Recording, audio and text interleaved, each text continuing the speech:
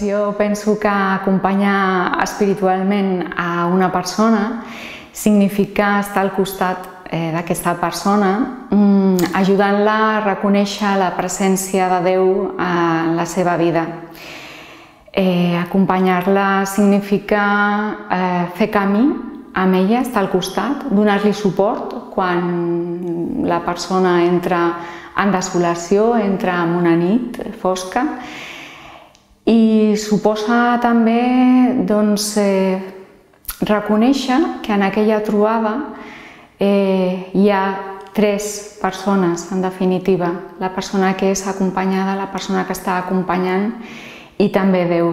Mm, la persona que acompanya, d'alguna manera, eh, ha de disminuir-se, ha de eh, practicar una gran discreció eh, sense que això suposi mm, deixar de rescatar la presència de Déu en la vida de la persona que s'ha acompanyada, sense deixar d'ajudar-la a que mm, reconegui també i relacioni aquesta presència de Déu eh, tant internament com externament en la seva vida ordinària. Vol dir, per tant, mm, reconèixer que allà hi ha dos protagonistes, que són la persona que s'ha acompanyada i Déu, i que simplement un el que està fent és sostenir, estar al costat i ajudar a rescatar aquesta presència.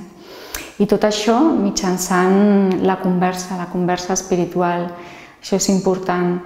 Eh, deixar que sigui la paraula la que es va convertint en aquesta eina per descobrir a Déu en eh, la vida de la persona que és acompanyada.